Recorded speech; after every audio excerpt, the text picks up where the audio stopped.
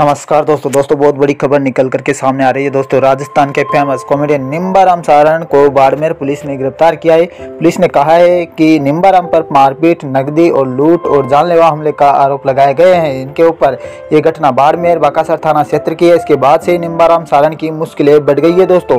मिली जानकारी के अनुसार कॉमेडियन निम्बाराम ने गिरफ्तारी के तीन दिन पहले अपने फेसबुक अकाउंट पर अपना वीडियो एक पोस्ट किया था। उन्होंने इसका टाइटल दिया था कि जलने वाले जलते रहेंगे। मैं ऐसे वीडियो बनाता रहूँगा।